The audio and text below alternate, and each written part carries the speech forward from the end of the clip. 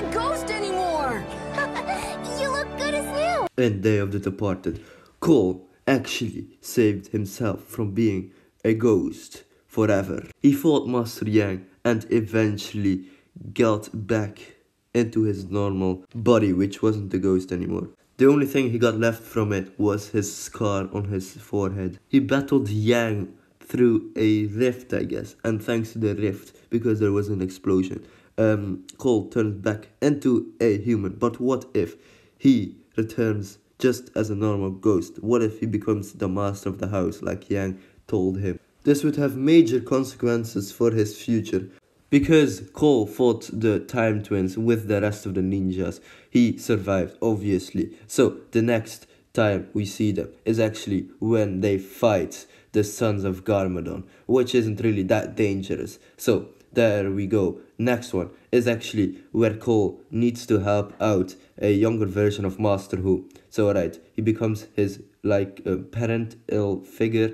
So the next one is actually where they are fighting the Oni. I think Cole would have advantages to him because he's a ghost, and I mean the Oni blackish uh, uh, power that they have would re not really affect Cole in a way because he's already dead, suppose so. In the next adventure, Cole and ninjas travel to the Never-Realm where they encounter the Ice King, aka Zane. Cole would have been a bit uh, scared here because the Ice Emperor's powers are actually just water but frozen and ghosts can't handle water in Lego Ninjago. They also travel to Prime Empire where they defeat the evil bad guy in that game. This wouldn't really have an effect on Cole's ghost's body because he's in a game and he has a power up uh, character. Next up, they defeat the Skull Sorcerer and Cole actually also has a main part in this story where they also need, meet Vania.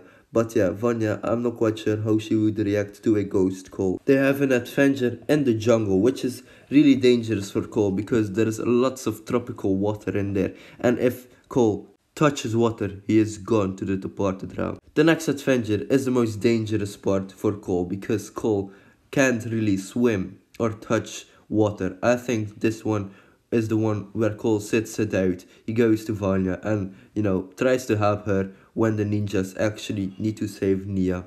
Because, I mean, I think that would be the smartest idea for them to choose because Cole can't really help them with water. The last and final adventure for the ninjas is to defeat the Crystal King, but that's also the Overlord. This is where the ninjas have dragon armor and become one giant dragon. So now you might know what would have happened if Cole stayed as a ghost. Hopefully you enjoyed this video. Don't forget to like and subscribe. And I will see you later. Goodbye, everyone. Ah, pretty much. Thank you, Nya. Speaking of good as new... the Temple of the Airjitzu Master.